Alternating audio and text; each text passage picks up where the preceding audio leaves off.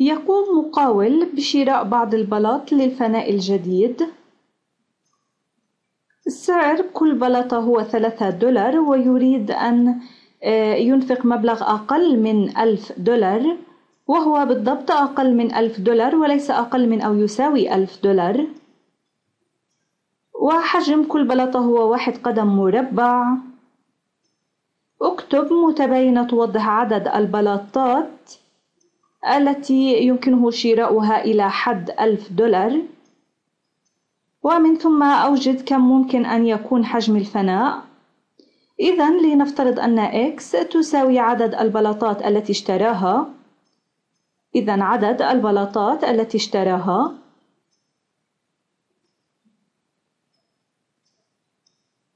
وبالتالي فإن قيمة شراء x بلاط سيكون ثلاثة دولار. لكل واحدة أي سيكون ثلاثة x. إذا ثلاثة x سيكون القيمة الإجمالية لشراء البلاط. ويريد أن يدفع مبلغ أقل من ألف دولار. ثلاثة إكس توضح المبلغ الذي أنفقه إذا قام بشراء إكس بلاطات.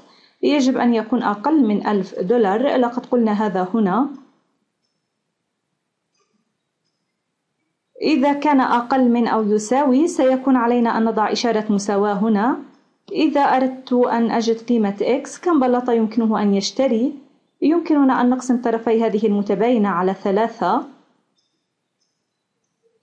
ولأننا نقسم أو نضرب يمكننا آه، آه، أن نتخيل أننا نضرب بواحد تقسيم ثلاثة أو نقسم على ثلاثة.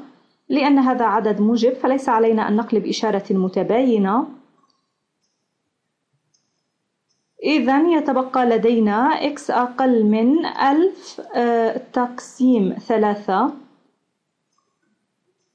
أي ثلاثمائة وثلاثة وثلاثين وواحد تقسيم ثلاثة.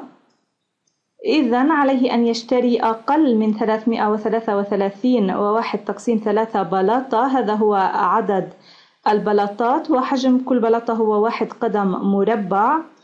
فإذا تمكن من شراء أقل من 333 وواحد تقسيم ثلاثة بلاطة بالتالي فإن حجم الفناء آه،